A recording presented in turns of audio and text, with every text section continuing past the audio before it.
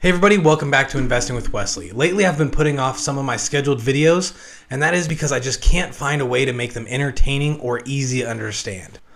But today, here we are. So in today's episode, I want to give you an introduction on taxes because today's episode and the next upcoming few episodes are going to be all about taxes.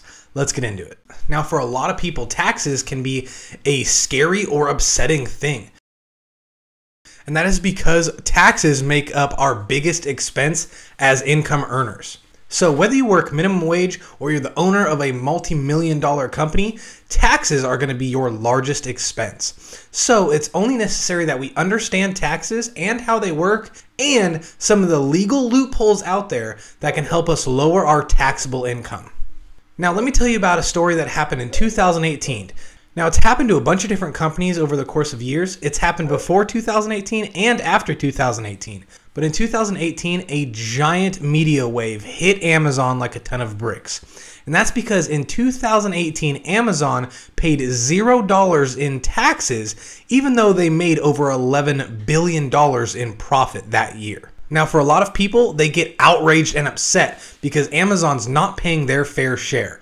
Everyone else is paying an arm and a leg in taxes, and here it is a multi billion dollar company not paying any taxes whatsoever. Well, the truth of the matter is that Amazon did pay their fair share, and that's really hard for a lot of people to grasp. Amazon paid their fair share because they did exactly what the government wanted them to do with their money. Now, when you get to have a business, whether it's small or large, the government has different incentive programs out there that help you capitalize on different tax deductions and credits out there. So, what exactly did Amazon do that lowered their tax bill from $11 billion all the way down to zero? Well, for starters, a big business will also have a large amount of business expenses.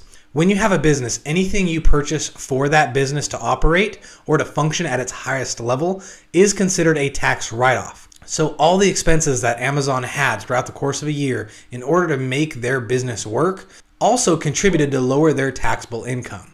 Now, not only that, but the government does have those incentive programs I mentioned. Things like high energy upgrades and as well as Amazon opening a bunch of different locations qualified for the government's incentive program because they created a bunch of jobs, so they got tax deductions for it. Now, during that year, Amazon focused a lot on research and development as well as offered all of its employees stock based compensation, meaning instead of getting the full amount that they're owed in the form of a check, like a paycheck, it can deduct a small amount from the paycheck and give it to them in company stock which, as we all know, has appreciated very well over time. Now, the government loves it when big corporations focus on research and development because it stimulates the economy, making it more efficient so we could produce and sell more goods at a cheaper cost, thus raising the GDP average and stimulating the economy. So it makes sense that the more research and development a company focuses on, the more tax breaks the government will give them.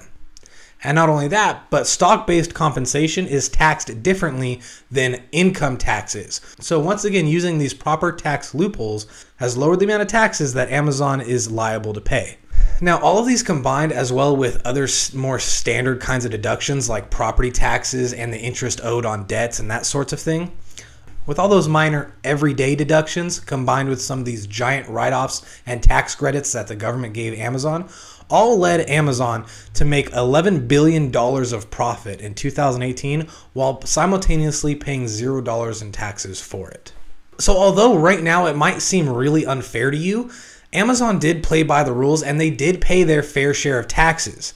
The real issue is that a lot of people don't really know what the tax rules are and the real outrage, in my opinion, should be that everyone that doesn't know these rules are overpaying their taxes and also aren't paying the fair share. They're paying more than their fair share. So it's my goal to help you understand how taxes work, how they're calculated, and some of the different strategies you could use to lower your taxable burden. To me, tax strategy is a lot like the game of chess.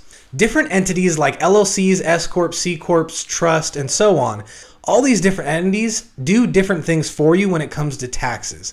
And it's your job as the strategist to position all these different entities and your different funds in each of these entities strategically.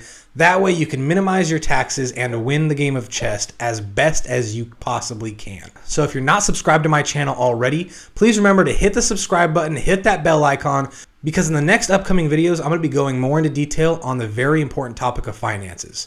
Until our next episode, have a good one.